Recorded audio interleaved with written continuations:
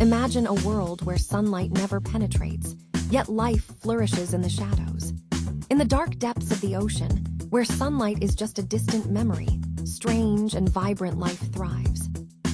Meet the deep sea tube worms, fascinating creatures that seem to defy the odds.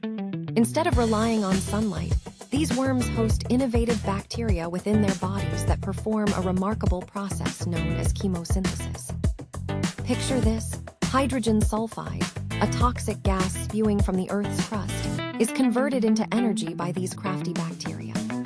The tube worms absorb this energy and, in turn, create a dynamic ecosystem that supports a variety of life forms, from curious crustaceans to vibrant mussels.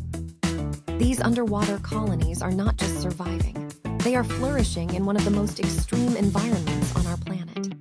This astonishing symbiotic relationship highlights the incredible adaptability of life, proving that even in the darkest depths, nature finds a way. Did you find this hidden world as fascinating as I did? Hit that like button and follow for more amazing discoveries.